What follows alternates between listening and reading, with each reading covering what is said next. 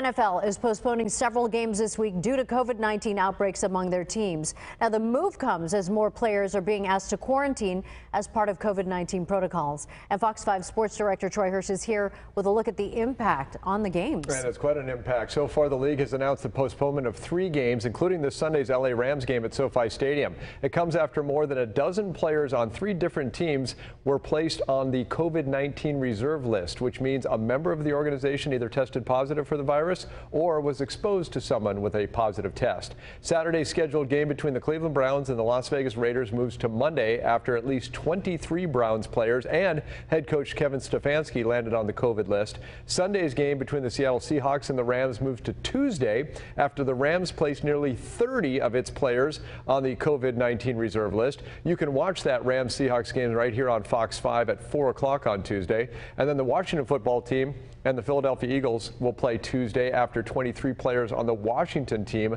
went on the COVID list. Now, just yesterday, the NFL updated its COVID protocols amid a rise in cases across the U.S. and in the league. According to the new rules, all teams will be required to wear masks regardless of vaccination status, have remote or outdoor meetings, eliminate in-person meals, and have no outside visitors while on a team travel. The league also encourages players to get vaccinated and to get booster shots if already fully vaccinated. Fully vaccinated players will continue to get tested weekly. Unvaccinated players get tested daily. At this point, all of the other games in the league are set to go on as planned. So we had a slight change in our lineup on Sunday because of the schedule change. We'll still start with the Dallas Cowboys facing the New York Giants.